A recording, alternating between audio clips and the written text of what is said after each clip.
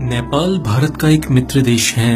हिमालय की गोद में बसा ये देश अपनी सुंदरता और विविधता के लिए दुनिया भर में प्रसिद्ध है। ज़्यादातर भारतीयों के दिमाग में नेपाल शब्द आते ही बस एक नेपाली लड़के की इमेज बन जाती है। लेकिन नेपाल बहुत ही विविधता से परिपूर्ण देश है।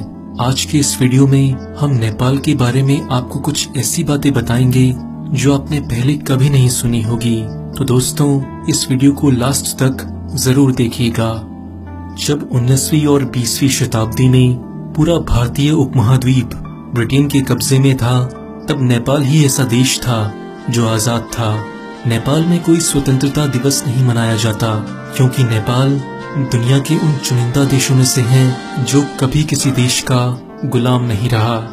नेपाल को साउथ एशिया का सबसे पुराना देश माना जाता है। नेपाल में 80 जातीय समूह हैं और 123 से ज़्यादा भाषाएँ हैं। नेपाल दुनिया के उन अनोखे देशों में से है, जहाँ इतनी विविधता होने के बावजूद भी आज तक कोई दंगा फसाद नहीं हुआ।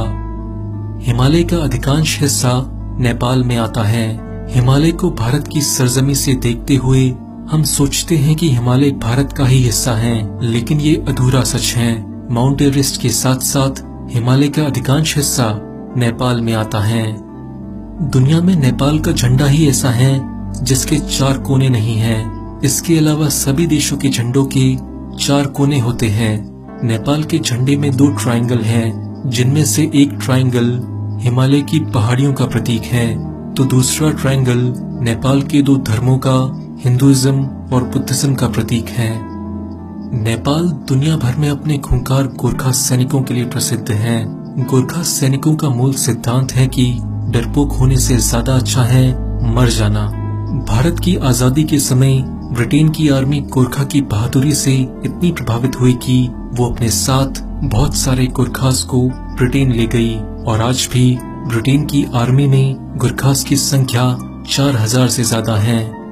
आज इंडियन आर्मी में गोरखा की सात रेजिमेंट और 40 बटालियन हैं, जिसमें चालीस हज़ार से ज़्यादा गोरखा भारत की रक्षा करते हैं।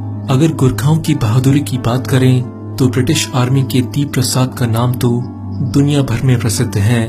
उन्होंने 17 सितंबर 2010 की रात को अफ़गानिस्तान में अकेले ही 30 तालिबानी आतंकवादियों को मार गिराया था, जिसके लिए उन्हें ब्रिटेन की महारानी से मेडल भी मिला था। जहाँ भारत में लोग मॉडर्न बनने के नाम पर नमस्ते करने की प्रथा को धीरे धीरे छोड़ रहे हैं वहीं नेपाल में आज भी लोग नमस्ते की मुद्रा में हाथ जोड़कर एक दूसरे का अभिवादन करते हैं। कुछ समय पहले तक नेपाल एक हिंदू राष्ट्र था, लेकिन अब वो एक सेकुलर देश है। गाय नेपाल का राष्ट्रीय जानवर है।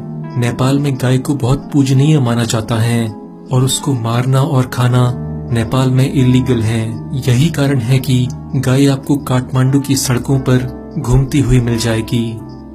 आप सबने एक रहस्यमय जानवर येती के बारे में तो ज़रूर सुना होगा। माना जाता है कि ये जानवर नेपाल की पहाड़ियों में रहता है। माउंट एवरेस्ट पर सबसे पहले चढ़ाई करने वाले एडमंड हिलेरी ने भी इस जानवर को खोजने के लिए एक अभियान चलाया था।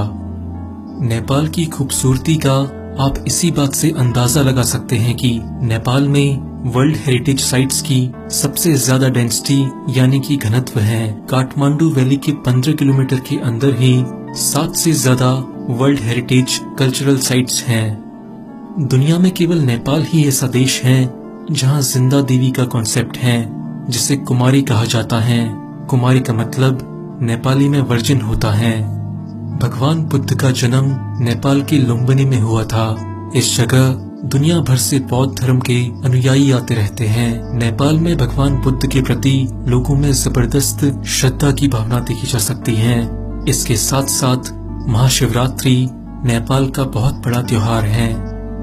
दुनिया की दस सबसे ऊँची पर्वत चोटियों में से आठ नेपाल में है। इसमें 8,848 मीटर की ऊंचाई वाली माउंट एवरेस्ट सबसे ऊँची है। माउंट एवरेस्ट को नेपाली भाषा में सागर माता कहा जाता है। जिसका मतलब है आसमान की देवी। नेपाल कभी चरस तंबाकू आदि के लिए बहुत फ़ेमस था, लेकिन अब यहाँ चरस तंबाकू खरीदना, बेचना और इस्तेमाल करना गैर कानूनी है। नेपाल में चिड़ियाओं की 870 से ज़्यादा स्पीशीज हैं। आप जानकर हैरान होंगे कि चिड़िया की इतनी स्पीसीज तो पूरे यूरोप में भी नहीं पाई जाती। नेपाल दुनिया के उन चुनिंदा देशों में से है जहाँ आपको बंगाल टाइगर और एक सिंग वाला राइनोसोरस एक साथ देखने को मिलेंगे। 54.6 सेंटीमीटर की हाइट वाला दुनिया का सबसे छोटा आदमी चंद्र बहादुर नेपाल का ही है। रामायण की मुख्य पात्र सीता माता का जन्म स्थल मिथिला नेपाल में ही है।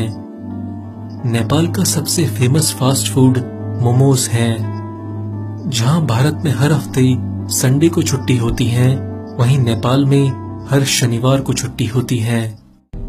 दोस्तों, आज की वीडियो में बस इतना ही। आगे आने वाले वीडियोस